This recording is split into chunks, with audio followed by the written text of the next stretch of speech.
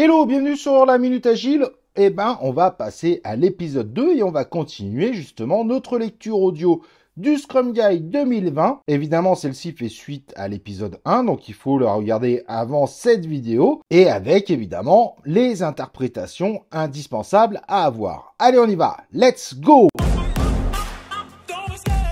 Les valeurs Scrum. L'application réussie de Scrum dépend de la capacité des personnes à mieux vivre ces cinq valeurs engagement, focus, ouverture, respect et courage. La Scrum Team s'engage à atteindre ses objectifs et à se soutenir mutuellement. Son but principal est la réalisation du sprint pour progresser le plus possible vers ses objectifs. La Scrum Team et ses parties prenantes sont ouvertes sur le travail et les défis à relever. Les membres de la Scrum Team se respectent mutuellement pour être des personnes compétentes et indépendantes et sont respectés en tant que tels par les personnes avec lesquelles ils travaillent. Les membres de la Scrum Team ont le courage de mener de bonnes actions et de travailler sur des problèmes difficiles. Donc on a déjà quelques définitions qui sont relativement claires hein, sur évidemment les cinq valeurs Scrum. En revanche, il y a des termes, donc vous vous rappelez, le sprint, c'est ces concepts de travailler par itération de deux semaines, comme on l'a vu dans l'épisode 1. On ira évidemment plus en détail pour la suite. Et il y a quelque chose d'important qui apparaît, ses objectifs.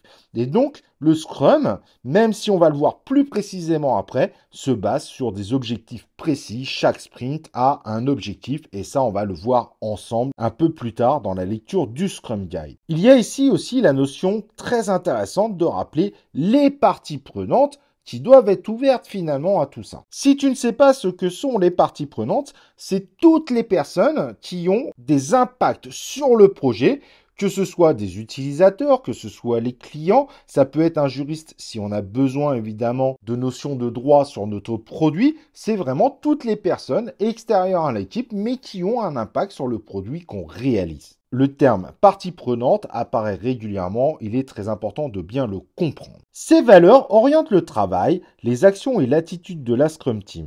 Les décisions et les mesures prises, ainsi que la façon dont Scrum est utilisé, doivent renforcer ces valeurs, ne pas les diminuer ni les saper. Les membres de la Scrum Team apprennent et explorent ces valeurs tout en travaillant avec les événements et les artefacts Scrum. Lorsque ces valeurs sont incarnées par la Scrum Team et les personnes avec lesquelles elle travaille, alors les piliers empiriques Scrum de transparence, d'inspection et adaptation émergent en consolidant la confiance. Donc il vous explique tout simplement qu'il faut vraiment bien comprendre que ces cinq mots sont indispensables pour justement beaucoup mieux appliquer les trois piliers qu'on a vus évidemment précédemment lors de l'épisode 1.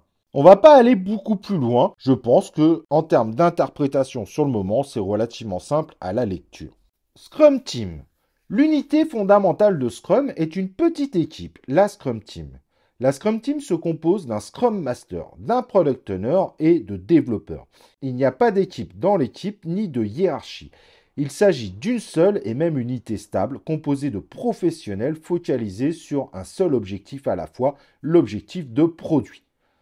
Et donc là, il y a plein de notions qui se rajoutent sur cette partie-là. Donc on a une équipe Scrum, mais en revanche, il n'y a pas de chef. Tout le monde représente tout simplement le manager global de cette équipe. Et ça, c'est très important. Que tu sois Scrum Master, Product Owner ou développeur, peu importe ton expertise, n'oublions pas que le développeur représente tous ceux qui réalisent. Il n'y a pas de hiérarchie entre les membres, donc tout le monde doit se respecter et doit évidemment prendre des décisions collectivement. De plus, dans la partie des développeurs, contrairement au précédent Scrum Guide, on refuse catégoriquement la notion de sous-équipe parce qu'on considère qu'il y a un risque d'interprétation derrière d'avoir une hiérarchie au sein même de cette équipe Scrum. Donc tout le monde est au même niveau, aucune hiérarchie, on est sur du management horizontal. Et la dernière notion très importante, mais qu'on verra évidemment plus tard dans le Scrum Guide, l'objectif de produit. En effet, en Scrum, on essaye toujours d'avancer par rapport à des objectifs. Et le premier objectif qu'on voit ici, c'est l'objectif de produit, c'est l'objectif global qu'on veut atteindre, mais on verra, il y a des subtilités autour de cette notion-là. Les Scrum Teams sont pluridisciplinaires. Leurs membres ont toutes les compétences nécessaires pour créer de la valeur à chaque sprint. Elles sont également autogérées, elles décident en interne qui fait quoi, quand et comment.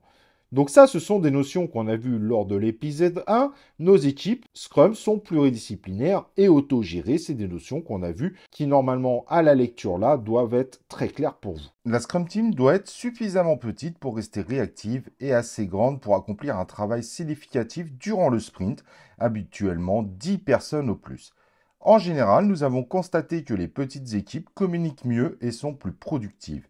Si les Scrum Teams deviennent trop grandes, elles devraient envisager de se réorganiser en plusieurs Scrum Teams cohérentes, chacune axée sur le même produit. Par conséquent, elles doivent partager le même objectif de produit, le même product backlog et le même product owner. Cette partie est assez intéressante car maintenant, dans le Scrum Guide, on ne dit plus qu'il faut impérativement qu'une équipe Scrum soit de 10 personnes maximum, mais c'est plutôt devenu une recommandation. Donc le Scrum Guide recommande de ne pas avoir plus de 10 personnes, mais ne l'impose pas, de façon à avoir des équipes qui ont moins d'interactions et donc qui travaillent mieux ensemble. Et recommande évidemment, si votre équipe est de plus de 10 personnes, d'éventualiser, de diviser en plusieurs équipes mais sachant que les équipes travailleront sur les mêmes outils, comme le Product Backlog, travailleront autour d'un même objectif, l'objectif du produit, et ayant un des rôles en commun qui est celui de Product Owner qu'on verra plus tard. La recommandation est simple, il est préférable de travailler en petite équipe. La Scrum Team est responsable de toutes les activités liées au produit, collaboration des parties prenantes, vérification, maintenance, exploitation, expérimentation, recherche et développement, ainsi que tout ce qui pourrait être nécessaire. Elles sont structurées et habilitées par l'organisation à gérer leur propre travail. Travailler sur des sprints à un rythme soutenable améliore le focus et la cohérence de la Scrum Team. Donc ici, il y a plusieurs notions très intéressantes la responsabilité d'un certain nombre d'activités et les activités autour du produit ne sont pas de la responsabilité du product owner comme on pourrait l'imaginer, donc celui qui gère plutôt la partie fonctionnelle de l'équipe, mais à l'ensemble de l'équipe. Et ça, c'est très important, ce qui est vrai également pour la partie des tests, la partie de la maintenance et la partie du développement, donc de la réalisation. En fait, la responsabilité est à l'ensemble de l'équipe et pas à des membres précis. De plus, petit rappel, l'équipe gère son propre travail, elle est bien autogérée, c'est confirmé une nouvelle fois. La dernière notion à bien comprendre, c'est qu'il est important de bien assimiler que le Scrum est une méthode humaine. On n'essaye pas de surexploiter les gens, mais on essaye d'avoir des gens qui travaillent de façon raisonnable, de façon rythmée, mais qui ne font pas des heures insurmontables de travail. Toute la Scrum Team est responsable de la création d'un incrément qui est de la valeur qui soit utile à chaque sprint. Scrum définit trois responsabilités spécifiques au sein de la Scrum Team. Les développeurs, le Product Owner et le Scrum Master. Donc ici, à part les notions de responsabilité que nous avons déjà vues plus ou moins avant en termes de rôle, mais qu'on va voir plus en détail après, toute l'équipe est responsable de ce fameux incrément, donc de ce produit qui évolue au fur et à mesure. Développeurs. Les développeurs sont les membres de la Scrum Team qui s'engagent à traiter tout ou une partie utile d'un incrément à chaque sprint. Les compétences spécifiques requises pour les développeurs sont souvent larges et varient selon le domaine d'activité. Toutefois, les développeurs sont toujours redevables de créer un plan de sprint, un sprint backlog, inculquer la notion de qualité en adhérant à une definition of done, adapter leur plan chaque jour par rapport à l'objectif du sprint et se tenir mutuellement responsables en tant que professionnels.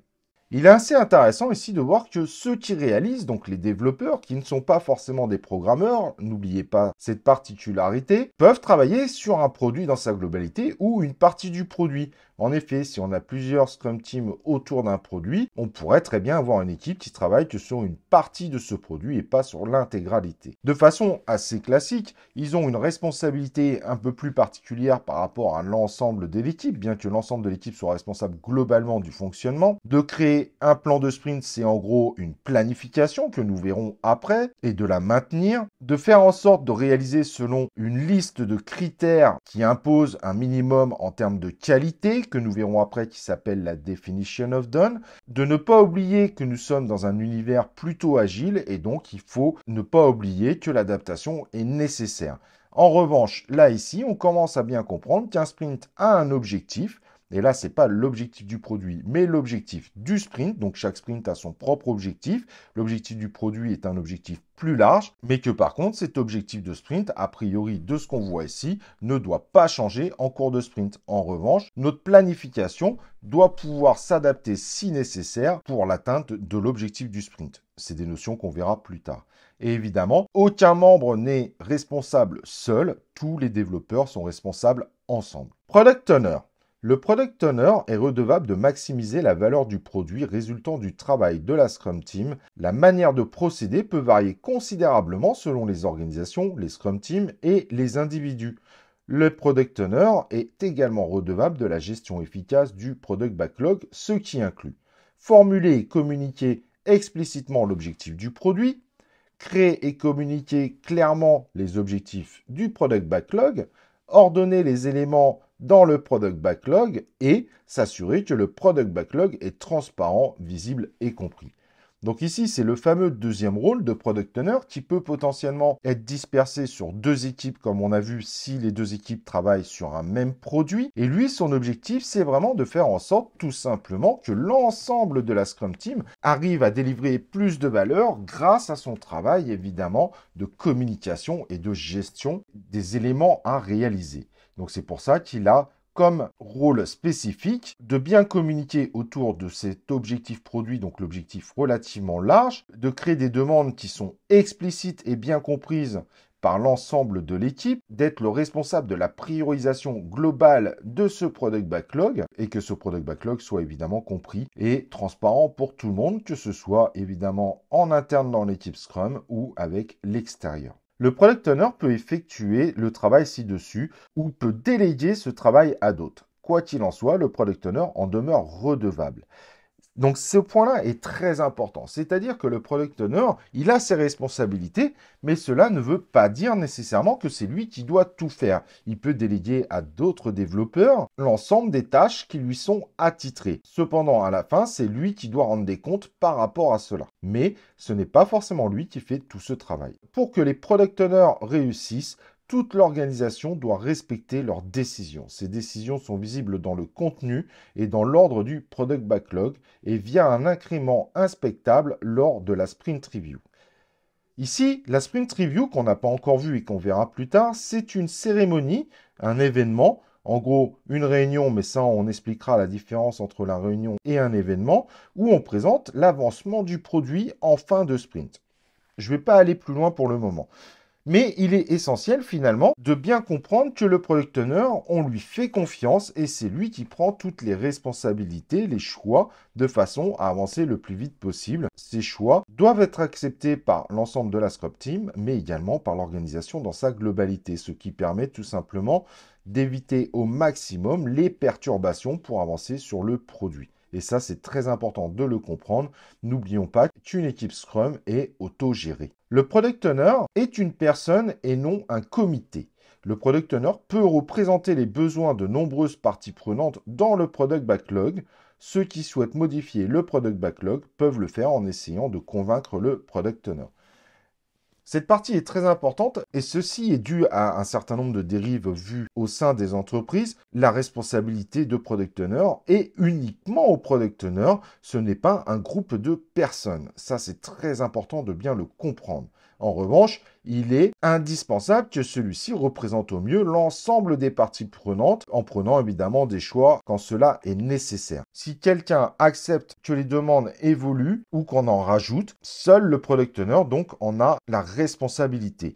En revanche, Rien n'interdit aux autres membres de l'équipe Scrum ou des membres extérieurs de cette équipe Scrum d'essayer de le convaincre qu'il est parfois nécessaire de faire certaines évolutions. Mais n'oublions pas, et là c'est clair, Seul le product owner prend la décision finale. Voilà, on a bien avancé et j'espère évidemment que vous avez continué à apprendre plein de choses. Et comme tu le sais, bah, dès le prochain épisode, on va continuer évidemment la lecture de notre Scrum Guide, car il y a encore un certain nombre de choses à voir. Voilà, j'espère évidemment qu'avant de partir, tu vas liker cette vidéo, que tu t'es abonné à la Minute Agile, et évidemment que tu as activé les cloches de notification pour recevoir les prochaines vidéos en notification. Allez, bonne journée à toi et on se retrouve pour un prochain épisode de La Minute Agile